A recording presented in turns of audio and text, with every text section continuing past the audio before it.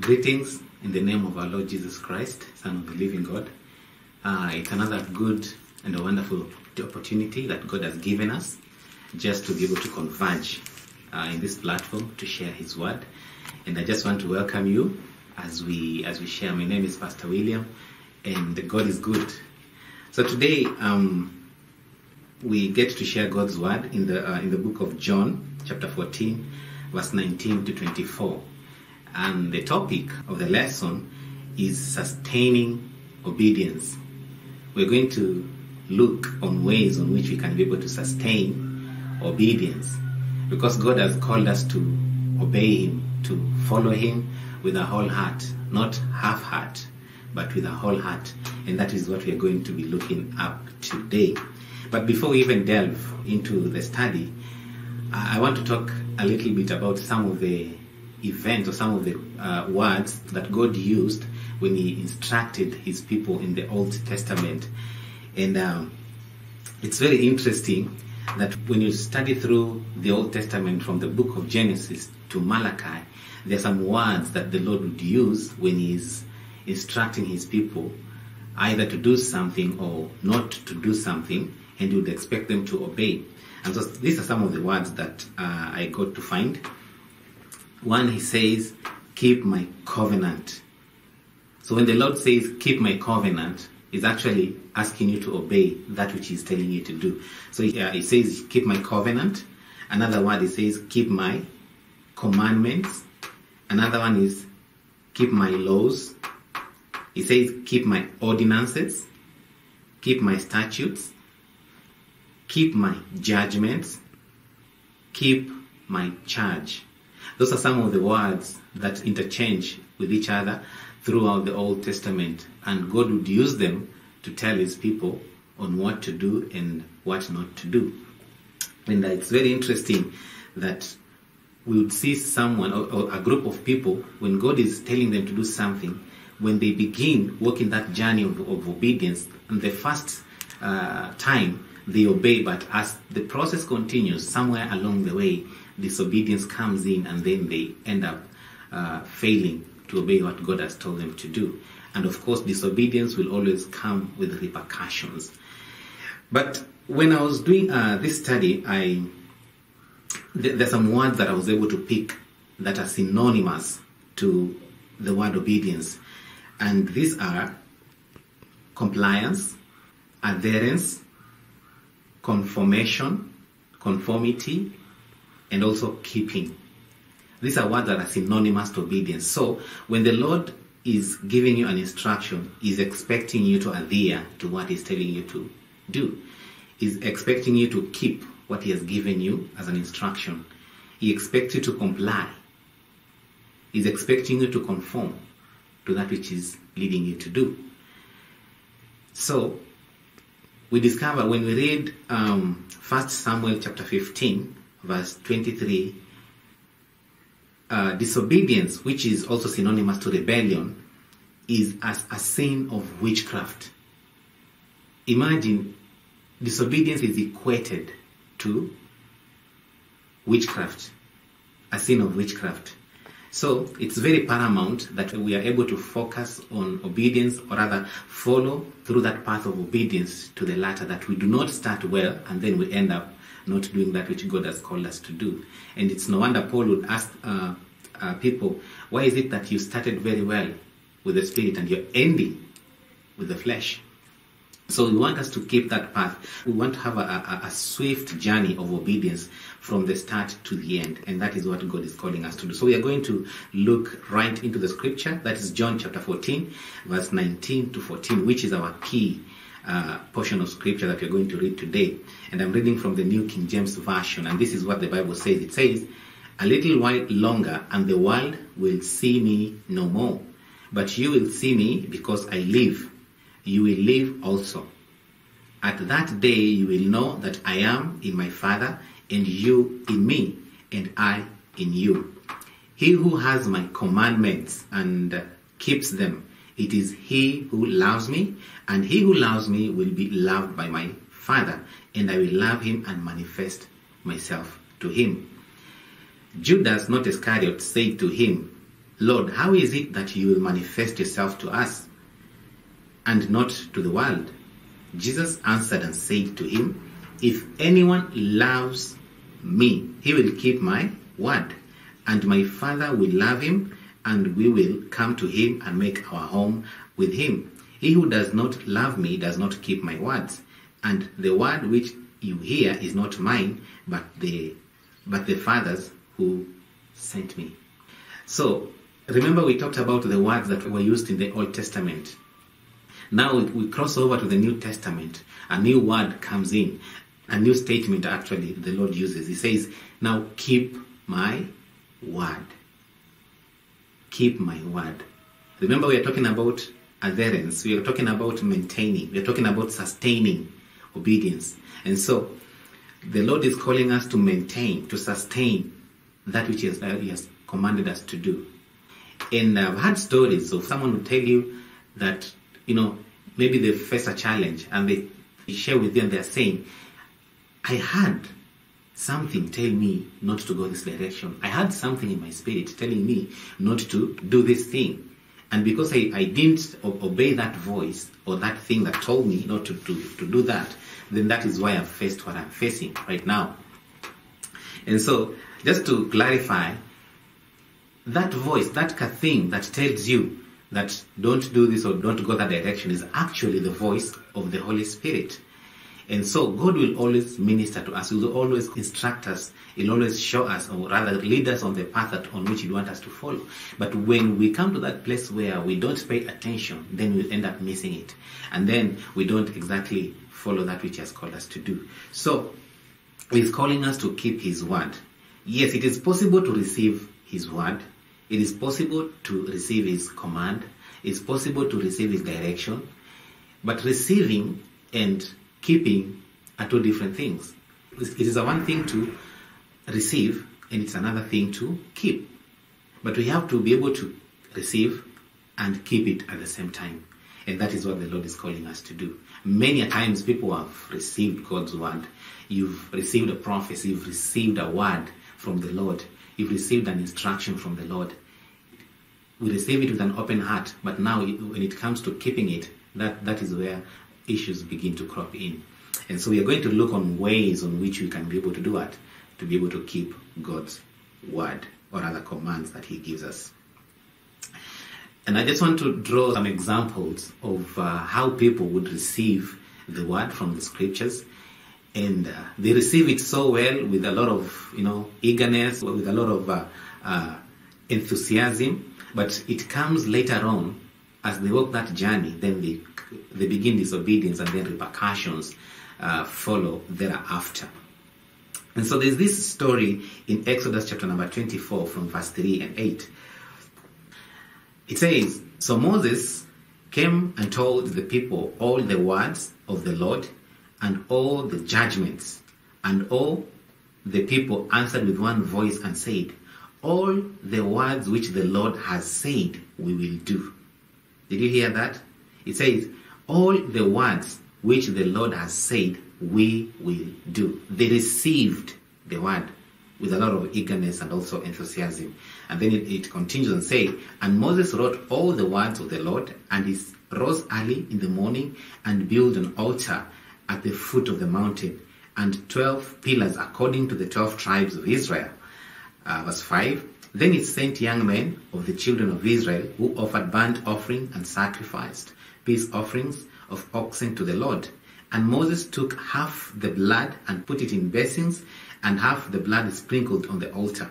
Then he took the book of the covenant and read it in the hearing of the people, and they said, All that the Lord has said, we will do. They repeat the same again.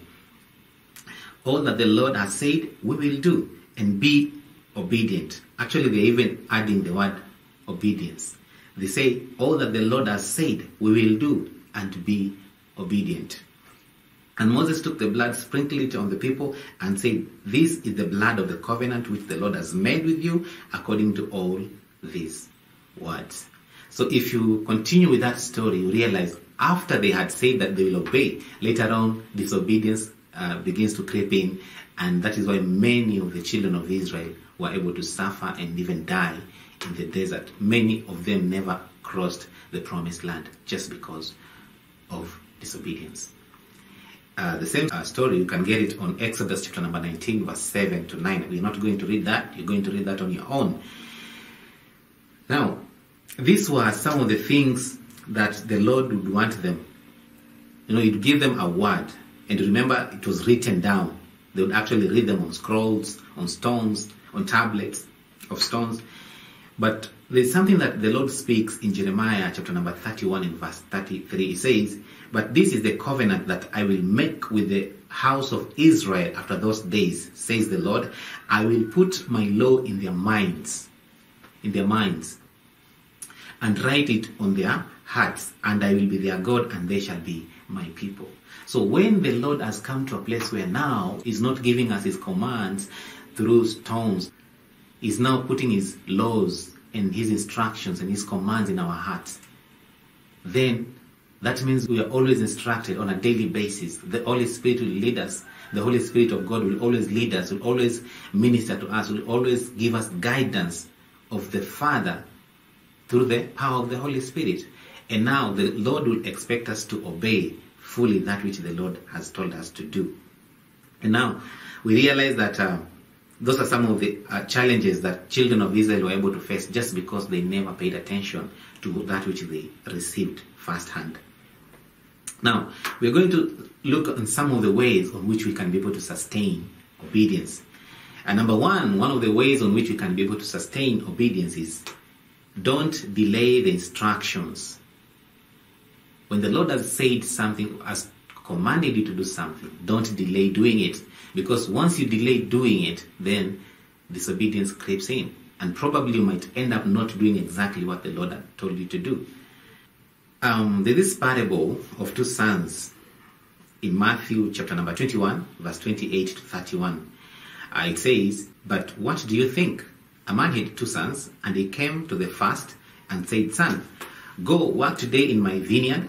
He answered and said, I will not go. But afterwards he regretted it, and he went. Then he came to the second and said likewise, and he answered and said, I go, sir.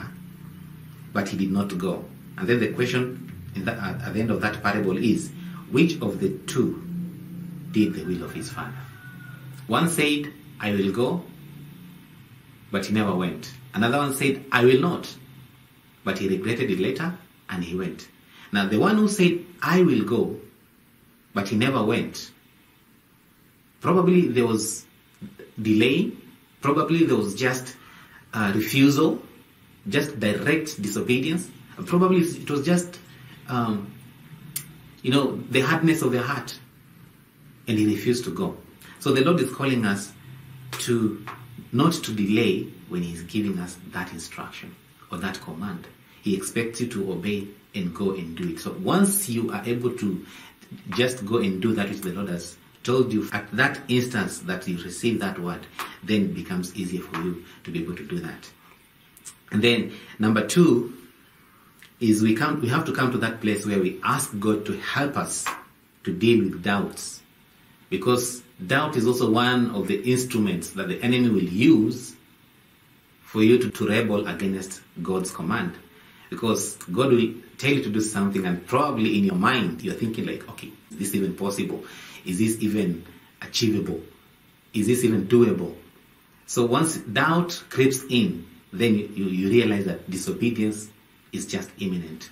So we have to come to that place where we ask the Lord to help us deal with any form of doubts in our walk with Him. Then we have to understand that when we are able to deal with doubts, then we are able to do what? To obey God's word and then you'll be able to implement it. So we have to come to that place where any pellets, any kind of creeping in of doubts, we have to be able to deal with them. Then we'll be able to uh, do that which God has told us to do. And then number three, uh, this is very uh, important as well. For us to be able to sustain obedience is we have to ensure that we do not harden our hearts. Do not harden your heart. Anytime you receive God's direction, anytime you receive God's instruction, make sure that you do not harden your heart.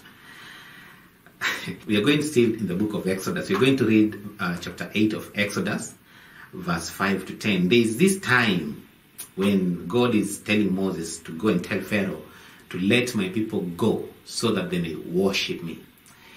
But somehow the Lord releases the hardness of heart towards Pharaoh against the word of Moses.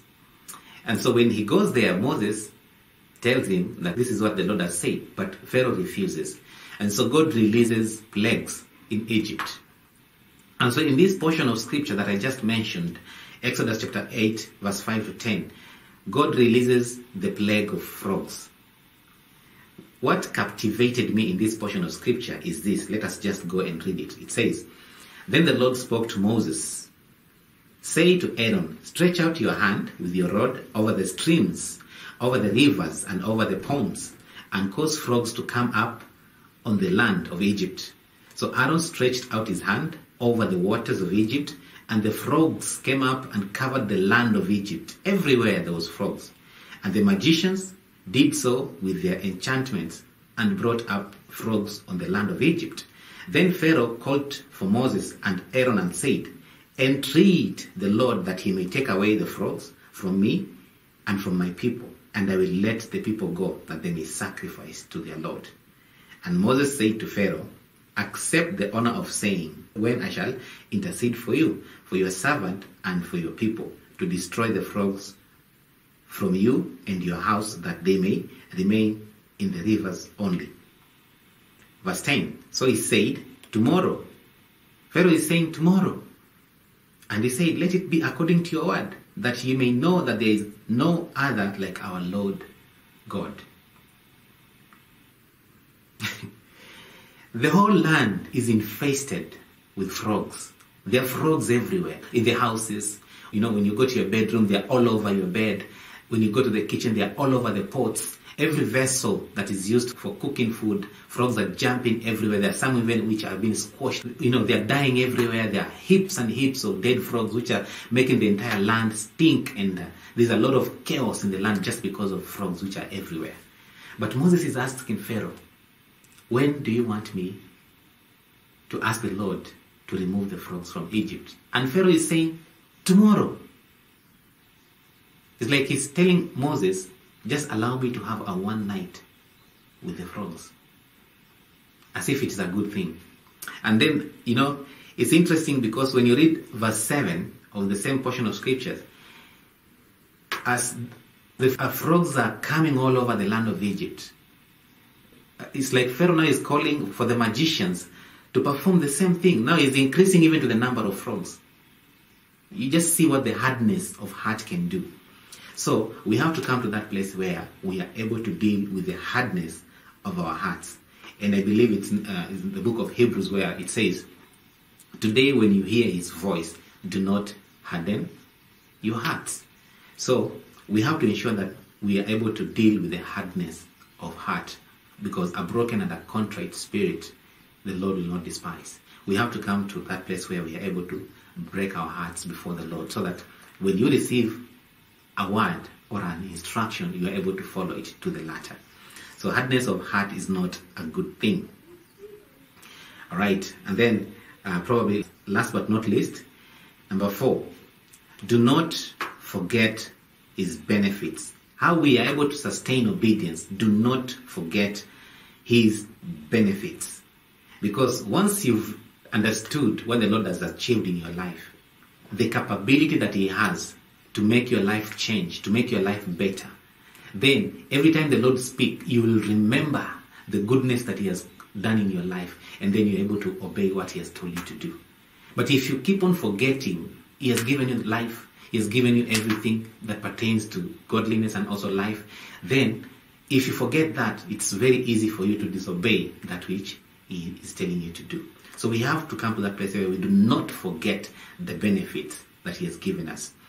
Uh, there's this portion of scripture in Psalms 103.